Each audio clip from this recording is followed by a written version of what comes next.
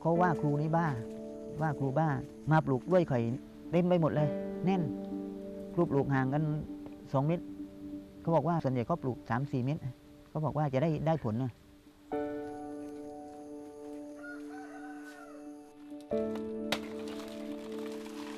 ครูวิเชียนขุนเพชรนะครับ เป็นครูสอนหนังสืออยู่ที่โรงเรียนเทศบาลหนึ่งที่หัดใหญ่ครับ ชอบในการทำเกษตรครับ เห็น นายหลวงสอนเรื่องเศรษฐกิจแนวทฤษฎีใหม่ เศรษฐกิจพอเพียง เศรษฐกิจแบบผสมผสาน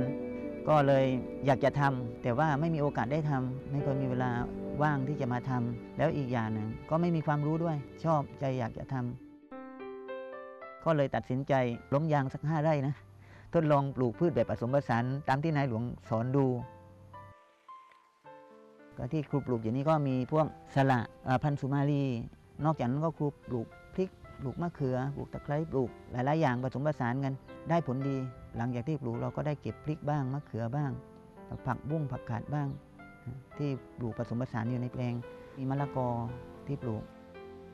แล้วก็เสารสหลังจากปลูกได้หกเดือนเสารสก็ให้เริ่มให้ผล ครูปลูกกล้วยไข่ไว้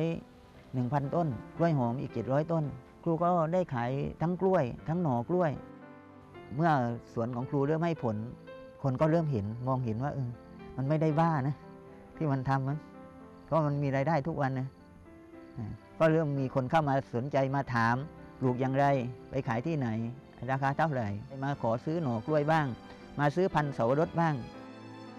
ครูใช้เวลาปี11 เดือน ตั้งแต่ปลูกมาทำให้เราเนี่ยรู้เลยว่าการทำแบบเกษตรแบบผสมผสานเนี่ยเราสามารถอยู่ได้จริง ๆ อย่างน้อยครูได้ทุกวัน ได้วันละสี่ห้าร้อย บางวันก็เป็นพัน ถามว่าทำเกษตรเหนื่อยไหมเหนื่อย แต่ถ้าเรามีความรู้จริงรักจริง ตั้งใจจริงอะสำเร็จทุกคนครูเชื่อ อยู่ที่ความขยันความความรัก ถ้าใคร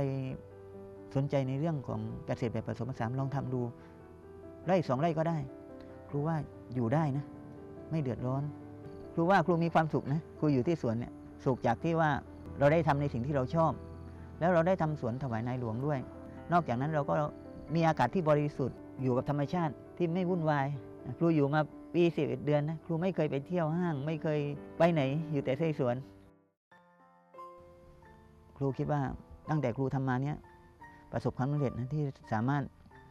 ได้เอาโครงการของนายหลวงเนี่ยเรื่องเศรษฐกิจแนวทฤษฎีใหม่หรือว่าผสมผสานเนี่ยไปเผยแผ่ให้คนอื่นได้เรียนรู้ แล้วก็ไปทำแทนว่าจะพึ่งยางอย่างเดียว หรือว่าพืชเชิงเดียว ครูว่าสิ่งที่นายหลวงสอนไม่ผิดนะใครที่ตามทำตามนายหลวงให้ครูว่าอยู่ได้สบายนะ แล้วประสบความสำเร็จ ถ้าใครทำตามนายหลวง ไม่ลำบากไม่อดครูเชื่อ ครูวิเชียนขุนเพชรยังคงทำเกษตรแบบผสมผสาน เพื่อสารต่อศาสตร์พระราชา บนวิธีแห่งความพอเพียง เพื่อความสุขและความยั่งยืน